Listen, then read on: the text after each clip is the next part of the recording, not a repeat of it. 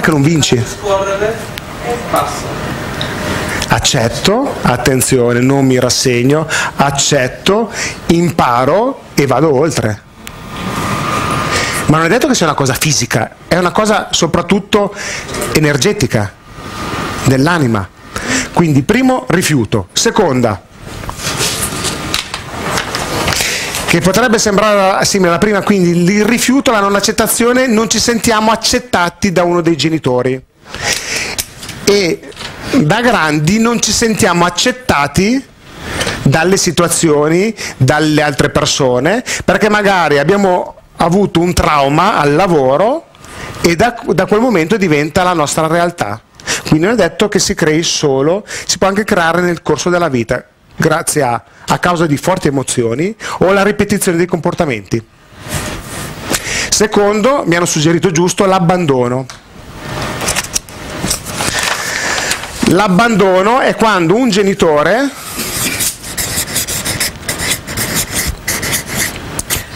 si dedica a un qualcosa, qualcosa d'altro o magari a un altro figlio, a un altro fratello che ha più bisogno di cure, magari un genitore che dedica tanto tempo al lavoro e il bambino si sente abbandonato. E se avete sentito parlare delle leggi della libertà finanziaria, si parla del bambino ferito. Avete mai sentito parlare del bambino ferito? È questo. Finché non lo curo, mi porterà sempre nella condizione di non merito e se non merito cosa otterrò nella vita? Il contrario di ciò che voglio, il contrario di ciò che penso. Attenzione, vi ricordate, 5 e 95. Io sì che penso di voler essere felice, di voler ottenere quella cosa lì, ma non lo ottengo perché l'inconscio è ferito. E l'abbandono come si ripercuote nella vita? Con la paura di perdere un qualcosa o un qualcuno. Quindi sempre quella sensazione di essere abbandonati. E nei rapporti di coppia la paura di essere abbandonati cosa crea? Perché mando questo tipo di messaggio. E ma il fatto che sono stato abbandonato o ho avuto la sensazione di essere abbandonato una volta non è detto che questa sia la mia certezza. E a volte anche l'abbandono perché un genitore ci ha lasciato prima del tempo. E quindi noi lo viviamo come un abbandono. E questo abbandono ci fa vivere sempre la paura di perdere qualcosa o qualcuno. E se abbiamo sempre la paura di perdere qualcosa o qualcuno, cosa succederà? Che non viviamo. Genitore ha subito l'abbandono, poi viene trasmesso automaticamente al figlio? Sì, potrebbe essere trasmesso attraverso il DNA, le paure si trasmettono e anche nelle costellazioni familiari servono per andare a rimettere, a cambiare questa catena hanno eh, un esempio, eh, cioè comunque un esempio lampante del, delle, delle, catene di considerazione familiare è la famiglia Kennedy. Famiglia Kennedy, tutti, i, quasi tutti gli uomini hanno subito un, una morte violenta e si ripete, ma ognuno di noi potrebbe avere delle date o delle situazioni che rivive. A volte mi capita di parlare con delle persone che magari sotto Natale vanno in crisi senza cioè senza, senza che ci sia un motivo apparente, perché probabilmente nel passato o loro, i genitori hanno vissuto un trauma. Adesso dico Natale perché magari in determinate situazioni dell'anno.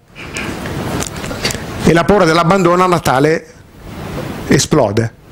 Perché se sei da solo, la massima paura comunque è anche la solitudine, la paura di rimanere da soli ma noi non saremo mai soli, la solitudine è un lato oscuro. I lati oscuri sono, no, sono i blocchi dei chakra, di questi punti energetici, uno dei, dei lati oscuri che è legato al settimo chakra è la paura di, della solitudine. Ma a volte la solitudine la provi anche quando sei in mezzo alle persone. È il senso di solitudine è il senso di solitudine. Ma quando noi ci riequilibriamo con il nostro tra essere e avere, non siamo più soli, perché ci riconosciamo come tutt'uno, il tutt'uno, l'universo, che poi è un multiverso se dobbiamo guardare, perché ognuno di noi ha un universo. Io ho il mio universo che entra in relazione con i vostri universi nostra coscienza collettiva. Ok? Quindi l'abbandono, paura di perdere qualcosa o qualcuno. Se lo state vivendo,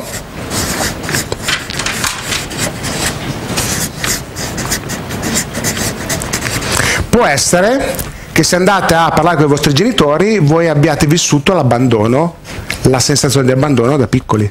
E poi legata sempre alle emozioni di abbandono. Alla sensazione, quindi alle emozioni che tu provi. Però quell'emozione lì è quella, quell'emozione che quando ti trovi davanti alle situazioni pum, ti blocca lo stomaco. Nel senso che tu i genitori ce l'hai, però non sono pre- Magari perché presenti emozionalmente. Brava, anche questo, magari hanno dedicato magari la loro vita a lavorare per darti un qualcosa di materiale, ma tu non volevi il materiale. Però loro non è che l'abbiamo fatto di cattiveria, attenzione, bisogna vedere il bambino cosa vive, è una mancanza di nutrimento. Anche il fatto che la mamma sia sempre a casa non lo consigli? Sì, è la forma di abbandono, sì. Quindi l'abbandono non è solo il ti lascio me ne vado, è quella sensazione di non avere ciò che o nutrimento o affetto, è mancanza di nutrimento o affetto. Dimmi Erika i sogni che fai quando sei piccolo. Sì. Quando sei piccolo non hai mai provato esperienze, quindi Giusto. potrebbero essere un, un, riflesso di quello che tu hai provato sì. quando la tua anima. Potrebbe essere un ricordo. Per dire, io quando ero piccola sognavo sempre di essere sulla giostra che girava, mm. giravo, nel momento in cui mi girava la testa i miei genitori non c'erano più. Mm. E questo sogno lo facevo penso tutte le notti. Mm-hmm. Ma poi 8-9 anni è finito questo. Potrebbe essere. Assolutamente, assolutamente sì. Potrebbe anche essere un ricordo di un'altra vita. Potrebbe essere. Io ad esempio sogno ogni tanto di essere un soldato che rimango incastrato in un cunicolo. Quindi probabilmente non ho ancora appurato, ma sono stato un soldato che sono morto in un cunicolo. E quindi me lo ritrovo Infatti per un periodo della mia vita mi facevano paura, mi mettevano soggezione i posti stretti, io faccio fatica, faccio fatica a passare nei posti stretti, però poi lo vedi in chiave diversa. Una sensazione di volare nei sogni. Mm-hmm. Quello è uno stato limbico, eh. è lo stato di non... Eh, entri in onde, in onde, in onde teta e quindi sei in un sonno consapevole. E tu come fai a provare quella sensazione se non l'hai mai vissuta? E chi, e chi, l'ha detto che non l'hai vissuta? E eh, chi l'ha detto che non l'hai vissuta? Eh, quello che dico, vuol dire che... Vuol dire che ci sono degli esperimenti a persone che gli hanno fatto immaginare la bruciatura a livello ipnotico e si creavano le bruciature sulla pelle. Sono eh, esperimenti scientifici. Ad esempio, eh, questo o comunque tante situazioni, non, il nostro cervello non fa differenza tra ciò che vede e ciò che immagina di vedere. Quindi se io in condizione ipnotica ti faccio provare, ti faccio immaginare di avere la mano sul fuoco, tendenzialmente potrebbero venirti fuori le piaghe. Perché il tuo corpo, il, il, il, la frequenza che mette il pensiero e le emozioni, quindi la paura, va a modificare il corpo. Einstein diceva anche che non è il corpo che genera la materia. Eh, il, il, nostro corpo, la materia è generata dal campo, dal campo, elettromagnetico. Quindi se io cambio il campo elettromagnetico che è determinato dal pensiero e dalle emozioni, automaticamente vado a modificare il mio stato fisico. E quindi questa è la causa del? Sì, è un, uno scompenso emotivo, sì. La fisica quantistica è una, una scienza che se fosse applicata non costerebbe niente la medicina quantistica. Noi siamo fatti di energia, se, una, se, un apparato elettrico non funziona cosa fai? Vai a lavorare sull'energia, vai a... noi siamo fatti di energia per stare bene messi in una gabbia di Faraday che è un, un sistema di isolamento e vai a lavorare sulla, sulla, sulla frequenza. La radioterapia che cos'è? radioterapia, noi siamo onde radio, siamo, trasmettiamo, le nostre cellule trasmettono tra di loro attraverso impulsi. Quindi la radioterapia quando ci sono dei tumori è cercare di ristabilire quel contatto tra le cellule, le cellule impazzite e le cellule sane. Quindi a proporre la dicevo quindi per lo stesso motivo, cioè se uno dalla mente può creare una cultura mm. non ha vissuto realmente per lo stesso motivo quando fai capire la mente non senti dolore. Non senti dolore. La fisica quantistica dice che se noi siamo fatti di energia, ci curiamo con l'energia, punto. Non ci curiamo con la chimica. Oppure, oppure gli alimenti che noi ingeriamo vibrano. Noi siamo vibrazione e se ciò che ingeriamo ha una vibrazione che non entra in risonanza con noi ci fa male. Basta ok? Cioè molto semplicemente. Ad esempio c'è un corso c'è un seminario, un workshop che, che poi mi, non mi ricordo più quando è, ad aprile, poi chiedete a lui, a Giada e dopo se vi interessa avere altre informazioni, c'è un, un seminario che si chiama Intenzione legge d'attrazione, dove comunque si va a lavorare sulla creazione di quell'intenzione quella famosa che mi porta ad avere i cambiamenti nella mia vita, quindi ad andare a allineare il pensiero con l'emozione. Quindi l'intenzione che cos'è? È un pensiero senza credenze e l'emozione senza paura. Quindi quella cosa pura che esce è energia pura e ti porta energia pura intorno. Se no io penso di volere una cosa, poi comincio a avere le credenze, comincio a avere le paure, quindi automaticamente se la frequenza di quella cosa che voglio è 50, mi trovo a vibrare a 2 e quindi cosa porterò nella mia vita? Il 2, non più il 50, che è l'intenzione pura di partenza. Le paure e le credenze mi porteranno ad abbassare la vibrazione e quindi attirerò nella mia vita vibrazioni più basse. E quindi? E quindi crei quello che tu non consciamente ma inconsciamente hai cercato. Sempre. La scienza aiuta a interferire sull'incontro che condiziona la Questa scienza ti aiuta a capire qual è il potere che tu hai di far accadere le cose.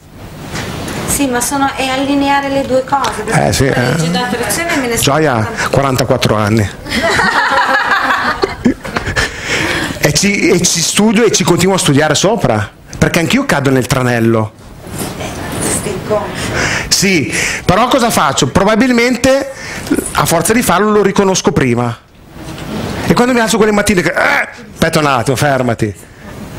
Ok, ovviamente sulle cavolate no, però sulle cose importanti arrivo a, a riconoscerle quantomeno.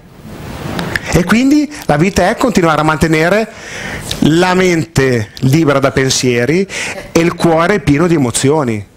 E quando ho le paure le affronto. Qualcuno lo sa già, l'ho detto anche stasera. Io una delle mie grosse paure era quella di parlare in pubblico. È vero. Io stasera quando ho iniziato, se avete fatto caso, io ho un momento di disagio. Poi lo passo, ma la paura di parlare in pubblico mi accompagnerà per tutta la vita probabilmente. Però la riconosco, lo so e ho fatto un qualcosa per lavorarci sopra.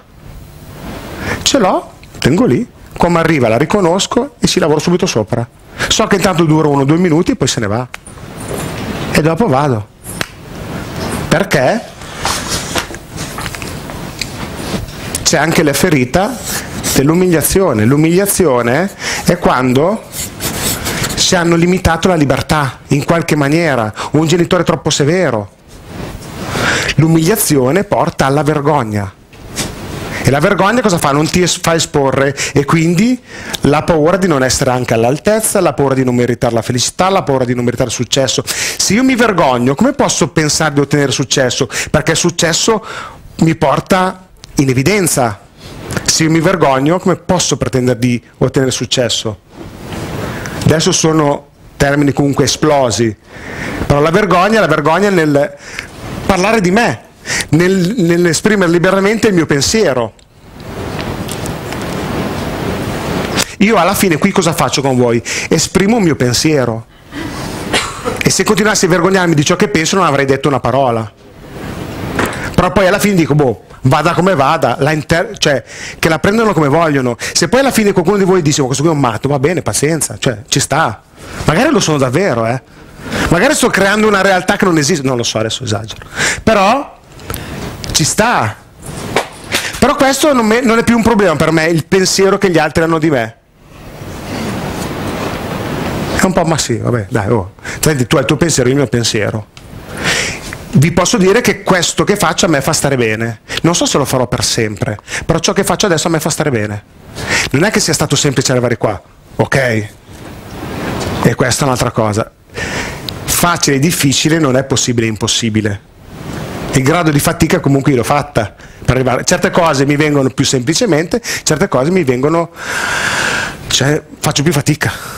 Ma perché? Perché probabilmente non ho il pensiero, non ho l'emozione giusta, allora se voglio fare meno fatica mi risveglio, sto un pochettino più sveglio, cerco di essere un pochettino più padrone e responsabile della mia vita ed evito di dormire. Poi mi addormento, ma quando mi addormento casualmente succede qualcosa che mi sveglia se non mi sono svegliato io. E quando mi succede un qualcosa che mi sveglia, non dico porca miseria perché, dico aspetta un attimo, forse Performarsi.net, adesso l'apro e la chiudo perché i tempi stringono, è tardi. Performarsi.net è andato da un'intuizione. Io stavo facendo un corso con un formatore che per me è il mio grande mentore e custode, non so se l'avete mai sentito parlare di Italo Pentimalli. Facevo un corso e mi è venuto fuori performarsi.net, aspetta, sto performarsi.net network. La prima idea di performarsi era quella di creare un sito che mettesse in comunicazione i formatori e il mondo dei corsisti. Poi si è evoluto perché io ho seguito altre strade, adesso mi ritrovo a dire ok, aspetta un attimo, formazione, formazione condivisa, perché non mettere in condizione le persone di formarsi magari ottimizzando tempi, ottimizzando investimenti e quindi Ok, formazione condivisa, esistono i gas, gruppi di acquisti solidale, perché non ci si mettono in condizione le persone che si mettono d'accordo tra di loro e magari comprano dei pacchetti di corso? E quindi tutti ne hanno un vantaggio. Quindi intanto ci, ci si comincia a muovere insieme. E poi magari aiutano le altre persone a formarsi e hanno dei vantaggi. E quindi è nato il network. E adesso si sta prendendo forma il network dove comunque all'interno al di là di quello che è la mia competenza perché poi ho i seminari poi ci sono anche dei corsi che lavorano proprio sullo sviluppo dei quattro poteri di base che sono identità eh, azioni emozioni e pensieri. Poi ci sono dei workshop ma voglio portare all'interno anche persone che magari insegnano a vendere insegnano tutte quelle tecniche trasversali o competenze tecniche che servono a ognuno di noi per vivere.